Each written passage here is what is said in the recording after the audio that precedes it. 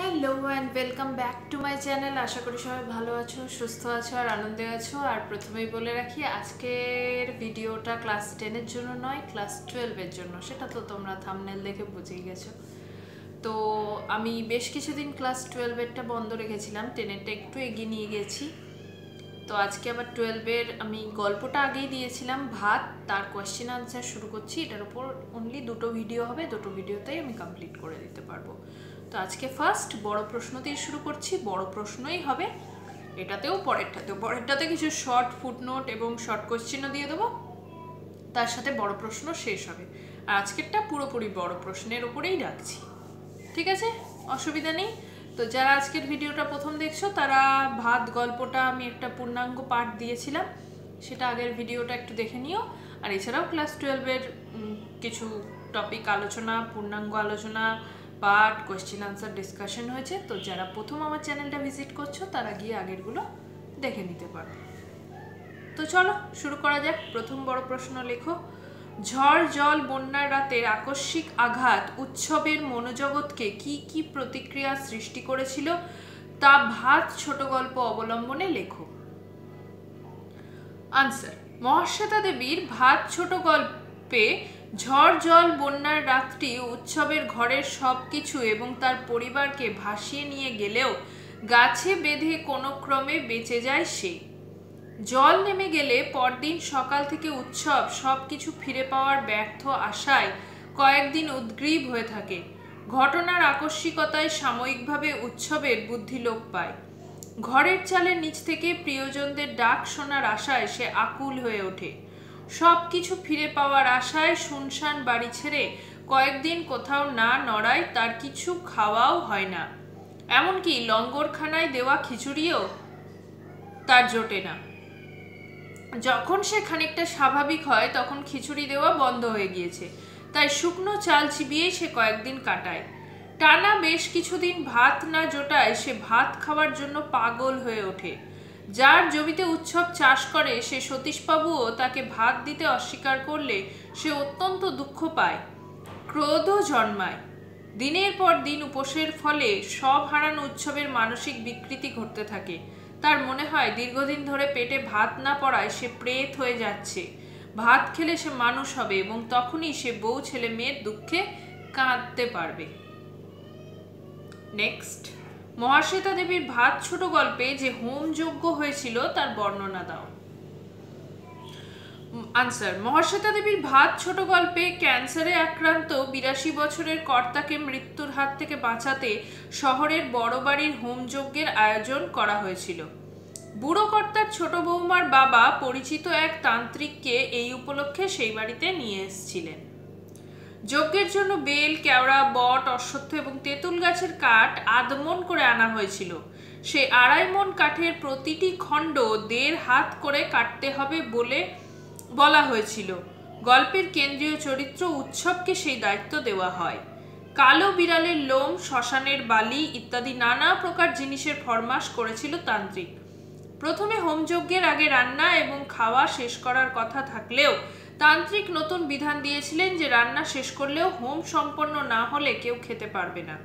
উৎসব যজ্ঞের জন্য কাটা কাঠের টুকরোগুলি পাঁচ ভাগে ভাগ করে দালানে রেখে আসার পর শুরু হয় হোম যজ্ঞ। বুড়ো কর্তার খাস ঝি হোমের যোগান দিচ্ছিল। তান্ত্রিক, এরপর যেটা বলব মন্ত্র বইয়ে আছে, একটু দেখে স্পেলিং লিখো। ওং হ্রিং ঠং ঠং ভো ভো রোগ শ্রীনু শ্রীনু মন্ত্র বলে বুড়ো কর্তার রোগকে দাঁড় করান। কালো বিড়ালের লোম দিয়ে রোগকে বাঁধেন এবং তারপর বুড়ো কর্তার তিন ছেলের উপস্থিতিতে হোম শুরু করেন। যদিও হোমযজ্ঞ শুরু হওয়ার ঠিক পর মুহূর্তেই বুড়ো কর্তা মারা যান। নেক্সট অনেক কিছু স্পেলিং যদি মনে হয় যে অসুবিধা, এখানে তো অডিও ভিজুয়াল তো স্পেলিংটা অসুবিধা, তো বই রেখো পাশে, বই দেখে লিখে নিও, কারণ বই থেকে স্পেলিং পেয়ে যাবে। নেক্সট মহাশ্বেতা দেবীর ভাত ছোট গল্পে বুড়ো কর্তার মৃত্যুর পর বড় বাড়িতে কি কি ঘটনা ঘটেছিল তার একটা সংক্ষিপ্ত বিবরণ দাও। মহাশ্বেতা দেবীর ভাত ছোট গল্পে বর্ণিত বড় বাড়ির বুড়ো কর্তা বিরাশি বছর বয়সে লিভার ক্যান্সারে আক্রান্ত হয়ে যেদিন মারা যান, সেদিনই তাকে বাঁচাতে হোমযজ্ঞ শুরু হয়েছিল। তার মৃত্যুর পর বাড়ির মহিলা এবং পরিচারিকারা স্বভাবতই কাঁদতে থাকে। বড় পিসিমা কাঁদতে কাঁদতে তান্ত্রিককে এবং বাড়ির ছোট বউয়ের বাবাকে দোষারোপ করতে থাকেন ডাকাতে সন্ন্যাসী আনার জন্য।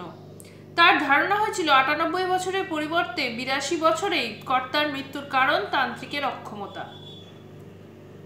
ঠিক হয় যে বুড়ো কর্তার মেয়েরা এবং কীর্তন দল আসার পর যে সেই রাতেই মৃতদেহ সৎকার করা হবে। পুরোহিতকে বলে প্রয়োজনীয় জিনিসের ফর্দ নেওয়া হয় এবং খই, ফুল, ধুতি, সব বস্ত্র ইত্যাদির জোগাড় চলতে থাকে। চন্দন বাটা চলতে থাকে। খাট আনতে একজনকে বাগবাজারে পাঠানো হয়। কিছুক্ষণের মধ্যে একটা বোম্বাই খাট এসে যায়। মহিলারা মাঝে মধ্যে কেঁদে উঠলেও শোকের বিশেষ চিহ্ন দেখা যায় না কারোর মধ্যে। বাড়ির উনুনে জ্বলছে না বাড়ির উনুন জ্বলছে না বলে রাস্তার দোকান থেকে চা আসতে থাকে। অবশেষে রাত একটার পর বোম্বাই খাটে শুয়ে বৃদ্ধের মৃতদেহ বের করা হয়। পেশাদারী সববাহকরা তা দ্রুত গতিতে শ্মশানে নিয়ে যেতে থাকে। পেছন পেছন দৌড়ে যায় কীর্তনের দল। বাড়ির সব রান্না ফেলে দিয়ে ঘর দুয়ার সাফ করা শুরু হয়। সেই রাতে কারোর খাবার জোটে না। উৎসবেরও সেই ভাত আর খাওয়া হয় না।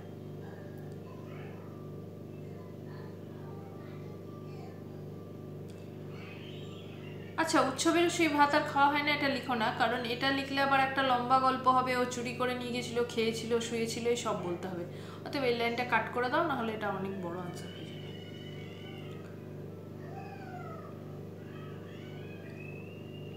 নেক্সট মহাশ্বেতা দেবীর ভাত ছোট গল্প অবলম্বনে বুড়ো কর্তার চরিত্র বিশ্লেষণ করো।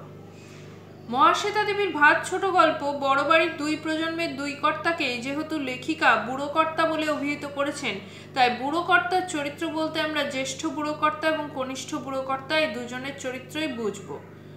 প্রথমত, জ্যেষ্ঠ বুড়ো কর্তা যিনি প্রয়াত, তিনি ছিলেন বড় পিসিমার পিতা। বড় পিসিমা যখন বিয়ের উপযুক্ত হন, তখন তার মা, অর্থাৎ জ্যেষ্ঠ বুড়োকর্তার স্ত্রী, মারা যান। স্ত্রী বিয়োগের পর সংসার দেখার জন্যই তিনি তার কন্যার বিয়ে দেননি। তবে তিনি দূরদর্শী লোক ছিলেন, আর তাই জন্যই বর্তমান প্রজন্ম কোনো কাজ না করলেও বহাল তবিয়েতে খেয়ে পড়েছিল।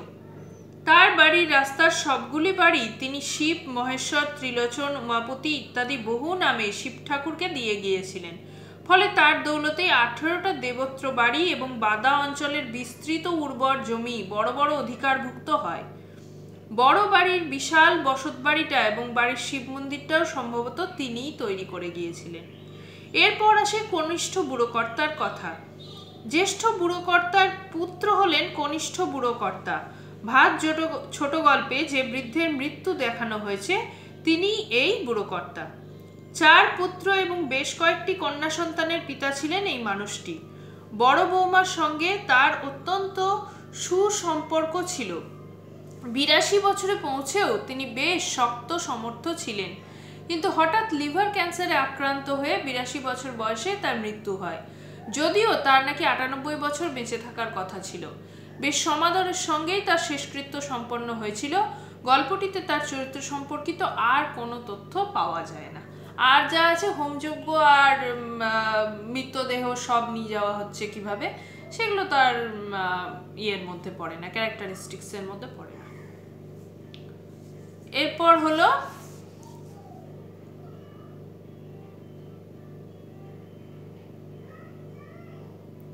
মহাশ্বেতা দেবীর ভাত ছোট গল্পে উৎসবের গ্রামের মানুষদের পরিচয় দাও। মহাশ্বেতা দেবীর ভাত ছোট গল্পের প্রধান চরিত্র উৎসব মাতলা নদীর পারবর্ষী পার্শ্ববর্তী দক্ষিণ চব্বিশ পরগনা জেলার সুন্দরবন অঞ্চলের এক দরিদ্র গ্রামে বাস করত। এই গল্পে এই গ্রামের সাধন দাস, মহানাম শতপথী এবং সতীশ মিস্ত্রির পরিচয় পাওয়া যায়। প্রথমেই আসে সাধন দাসের কথা। সে উৎসবের বিশেষ পরিচিত ঝড় বৃষ্টির রাতে ধনে জনে সর্বশান্ত হয়ে যাওয়া উৎসব যখন উন্মাদের মতো বই ছেলে মেয়েকে খোঁজার ব্যর্থ চেষ্টা করছিল, তখন সাধন দাসী তার সম্বিত ফেরানোর চেষ্টা করে। এর কয়েকদিন পর উৎসব যখন কলকাতা যাওয়ার জন্য উদ্গ্রীব হয়, তখন সাধন দাস সরকার ঘর করতে খরচা দেবে জানিয়ে তাকে গ্রাম ত্যাগ করতে নিষেধ করে। সুতরাং সাধন ছিল উৎসবের শুভাকাঙ্ক্ষী। এরপর পাওয়া যায় মহানাম শতপথীকে। তিনি যাতে ব্রাহ্মণ। চারপাশের কয়েকটি গ্রামের বন্যা মৃতদের শ্রাদ্ধের দায়িত্ব ছিল তার ওপর। এছাড়া পাওয়া যায় সতীশ মিস্ত্রির কথা। যোদ্ধার সতীশ মিস্ত্রির জমিতেই বছরের কয়েক মাস চাষের কাজ করত উৎসব। কিন্তু ঝড়জলের রাতে সর্বশান্ত উন্মাদ হয়ে যাওয়া উৎসব, একদিন তার কাছে ভাত খেতে চাইলে তিনি তা দিতে অস্বীকার করেন। উৎসবকে তিনি জানান, তোকে একলা দিলে চলবে? তাহলেই পালে পালে পঙ্গপাল জুটবে না? সুতরাং এই ধনী ব্যক্তির দয়া, মায়া, মমতা বলে কিছুই ছিল না। আচ্ছা এরপরের প্রশ্নটা বেশ ইম্পর্টেন্ট কারণ এইটাকেই নিয়ে গল্প আবর্তিত হয়েছে। আবার এটার প্রসঙ্গ নামকরণও পাবে, কিন্তু নামকরণটা যেহেতু একটু আলাদাভাবে বলতে হবে, তাই এটা আলাদাভাবে লিখে দিচ্ছি। মহাশ্বেতা দেবীর ভাত, ছোট গল্পে ভাতের প্রসঙ্গ কীভাবে বারবার ফিরে এসছে তা আলোচনা করো। মহাশ্বেতা দেবীর ভাত, ছোট গল্পে ভাতের প্রসঙ্গ বারবার উঠে এসছে এবং ভাতই এই গল্পের কেন্দ্রীয় মুখ্য বিষয়। ঝড় বৃষ্টির যে রাতে উৎসবের জীবনে সর্বনাশ নেমে এসেছিল, সেদিন সন্ধ্যায় উৎসব পরিবার সহ পেট ভরে ভাত খেয়েছিল। তারপর সব কিছু হারিয়ে কয়েকদিন সে উন্মাদের মতো প্রিয়জনের সাড়া পাওয়ার আশায় নিজ ভিটায় পড়েছিল। তখন তার ভাত জোটে না, সে কাঁচা চাল খেয়ে কাটায়। এমনকি লঙ্গরখানার রান্না খিচুড়িও তার খাওয়া হয় না। রান্না খিচুড়ি দেওয়া বন্ধ হয়ে গেলে এরপর কয়েকদিন সে অনাহারে কাটায়। দীর্ঘদিন ধরে ভাত না খেয়ে সে দিশেহারা হয়ে ভাবে, পেটে ভাত নেই বলে উৎসবও প্রেত হয়ে আছে, ভাত খেলে সে মানুষ হবে। তখন বউ ছেলে মেয়ের জন্য কাঁদবে। শুধু ভাত খাওয়ার আকাঙ্ক্ষাতেই সে কলকাতায় গ্রামতুতো বোন বাসিনীর মনিব বাড়িতে আসে। সারাদিন ধরে ভাতের আশায় উৎসব, অমানসিক পরিশ্রম করে বাড়ির কর্তার সুস্বাস্থ্যের উদ্দেশ্যে করা হোমযজ্ঞের কাঠ কাটে। তার মনে পড়ে শৈশবে শোনা ঠাকুমার কথা, রান্না হলো মানব কি? এই সমস্ত ফ্রেজ বা বাগধারা, প্রবাদ প্রবচন যাই বলো, বইয়ে পাবে, দেখে লিখো, ভুল লিখো না। বুড়ো কর্তার মৃত্যুর পর রান্না খাবার ফেলে দেওয়ার ব্যবস্থা হলে আর মাথা ঠিক রাখতে পারে না অভুক্ত উৎসব। বাসিনের বাসিনীর হাত থেকে অশৌচ বাড়ির ভাতের বড় ডেচকিটা ছিনিয়ে নিয়ে তাই সে স্টেশনে ছুটে আসে এবং প্রাণ ভরে ভাত খেয়ে সে ডেচকিটা জড়িয়ে ঘুমিয়ে পড়ে। ফলে পেতলের ডেচকি চুরির অপরাধে থানায় যেতে হয় তাকে। সুতরাং এই কাহিনীতে ভাতের প্রসঙ্গ শুধু বারবার আসেইনি, এই প্রসঙ্গ গল্পটিকে নিয়ন্ত্রণও করেছে। আসলে বাদা অর্থাৎ অন্যের দেশ দেখার আকুলতা আর তার ব্যর্থতায় গল্পের মূল বিষয় হয়ে উঠেছে। আর এর পাশাপাশি এই গল্পে খুব সুন্দরভাবে উঠে উঠেছে মানুষের সাধারণ খেটে খাওয়া মানুষের ভাতের জন্য হাহাকার।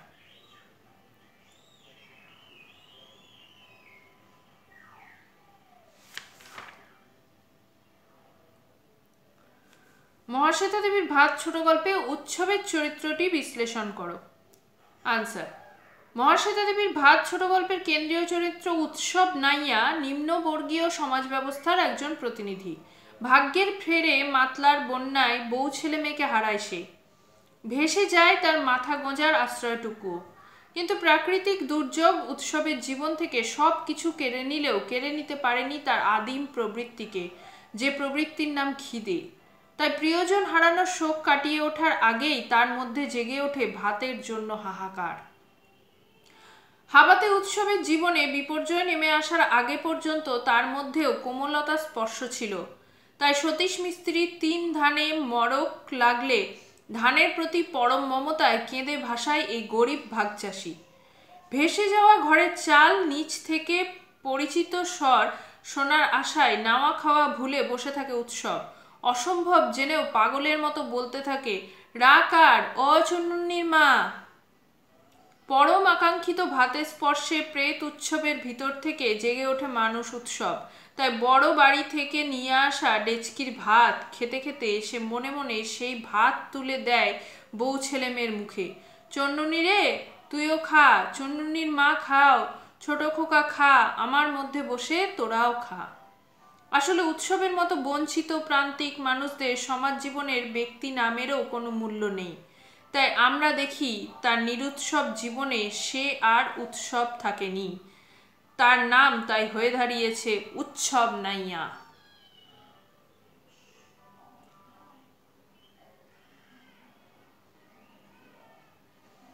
এরপর একটা লাইন তুলে আছে, দাঁতগুলো বের করে সে কামটের মতোই হিংস্র ভঙ্গি করে।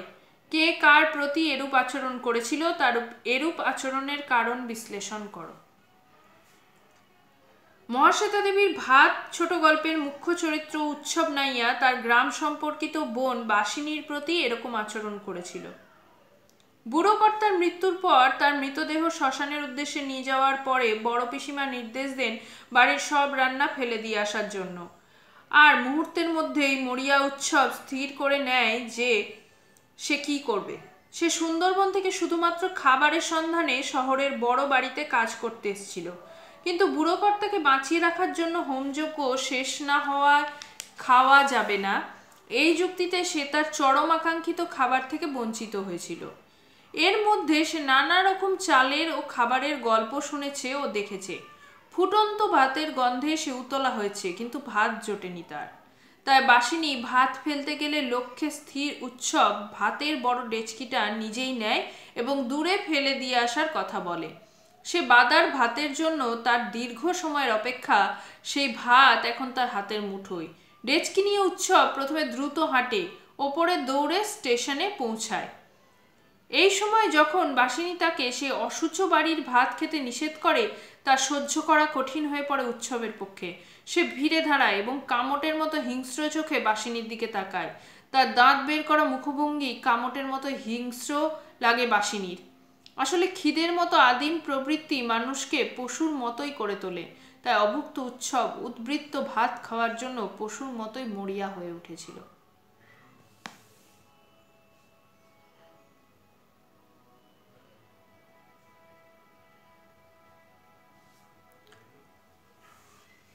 মহাশ্বেতা দেবীর ভাত রচনাটি ছোট গল্প হিসেবে কতখানি সার্থক আলোচনা করো।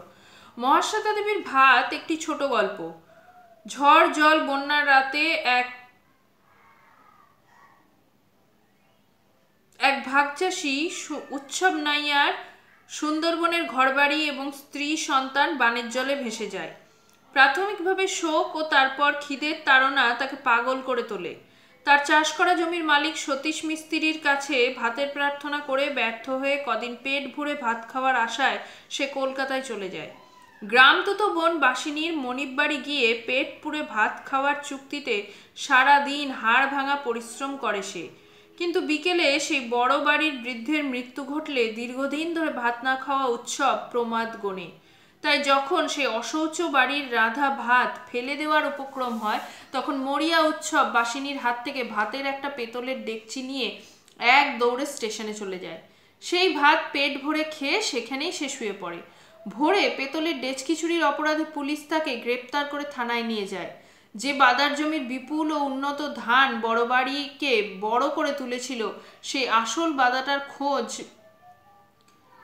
বন্ধা বাদার অধিবাসী উৎসবের আর পাওয়া হয় না। সুতরাং উৎসবের ভাত খাওয়াকে কেন্দ্র করে সুন্দরবন ও কলকাতার পটভূমিতে ভাত ছোট গল্পের মাত্র কয়েকদিনের কাহিনী গড়ে উঠেছে।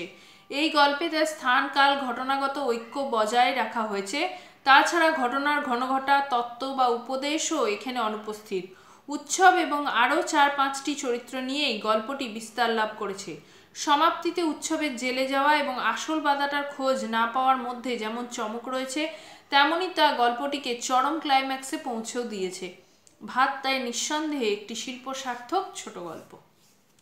আচ্ছা বড় প্রশ্ন তো এখনও বেশ কিছু আছে, অবশ্যই শেষ হয়নি। তো পরের দিন আমি কমপ্লিট করে দেবো আশা করছি, ছোট প্রশ্ন আর বড় প্রশ্ন মিলিয়ে। তো ততক্ষণ পর্যন্ত এগুলো ভালো করে করতে থাকো। আর বাকি তো আরও আছে। আর একটা কথা, যেরকম এখন আবার স্কুল বন্ধ হয়ে গেছে, তো এটা ভেবে নেওয়ার কোনো কারণ নেই যে এক্সাম হবে না। এক্সাম হবে এক্সপেক্টেড এবং না হয়। ও তোমরা ক্লাস টুয়েলভ এরপরে সারা জীবন তৈরি এবং জীবনে এগিয়ে যাওয়ার জন্য নেক্সট প্রসেসটাই বাকি। এবং এর মধ্যে অনেকেই হয়তো লিটারেচার বাংলা সাহিত্য নিয়ে পড়বে। তো তাদের জন্য পরীক্ষা হোক বা না হোক এই প্রিপারেশনটা খুব দরকার। তাই এখানে ফাঁকি দিও না, ফাঁকি দেওয়ার কোনো স্কোপ নেই। আর রাতারাতি যদি এক্সাম হওয়াটা অ্যানাউন্সমেন্ট হয়, তখন কিন্তু আরও বেশি বিপদে পড়বে। তো সব মিলিয়ে পড়তে হবেই, পরীক্ষা হোক আর না হোক। এটাই হচ্ছে আসল ব্যাপার। আর নেক্সট একটা কথা বলব, যেটা হচ্ছে আমি এরপরে আজ ইচ্ছে আছে ছোট ছোট স্টেপে বাংলা অনার্সেরও কোয়েশ্চেন আনসার এবং সিলেবাসটা শুরু করা। তো যারা এই ভিডিওটা দেখছ, যারা পরবর্তীতে বাংলা সাহিত্য নিয়ে পড়বে তারা এই চ্যানেলটাকে একটু ফলো রেখো। আমার যেহেতু নতুন চ্যানেল এখনও সেই সমস্ত শুরু হয়নি। স্লোলি করব। তোমরা যখন যাবে, আশা করি পেয়ে যাবে। তো যদি ভালো লাগে আমার চ্যানেলটা please like share and subscribe করো। ভালো থেকো, মন দিয়ে নিজেদের প্রিপারেশনটা ঠিকঠাক রাখো। ওকে সুস্থ থাকো। টাটা!